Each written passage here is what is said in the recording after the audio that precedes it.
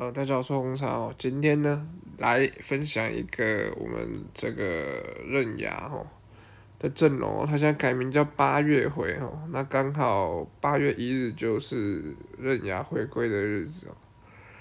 他呢，真的，我觉得是个很聪明的人吧，一直讲这句话。他他这个脑回路哦，完全是看不懂。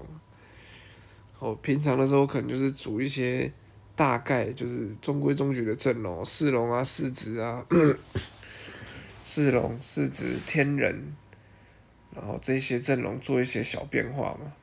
结果嘞，他组了什么鬼阵？他组了一个叫四毒龙神加天人合一，四毒龙神加天人合一，那就算了哦。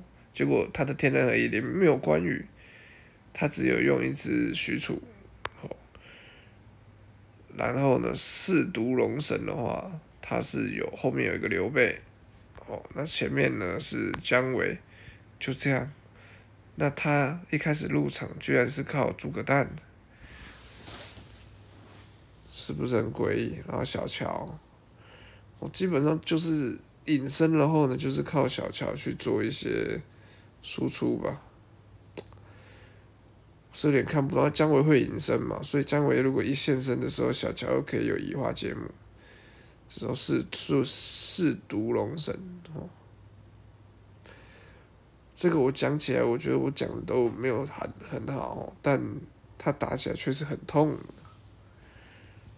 超诡异阵容哦。他的小乔痛炸。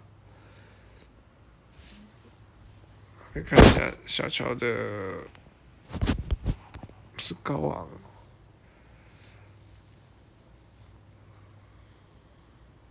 这时候三个会隐身了，许褚也隐了。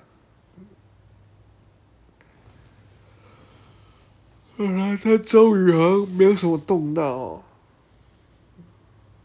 然后靠庞统和姜维来输出，那小乔就是有移花。还蛮痛的哦，然后许褚隐身，小乔移花也是痛，那有机会可以让更多人隐身哦。那他前面两只四加跟周瑜的话，应该就是解状态用的。好，就这样把我给做掉了哈。我都在想这一阵的驱动模式是什么哈，很神奇，但很痛。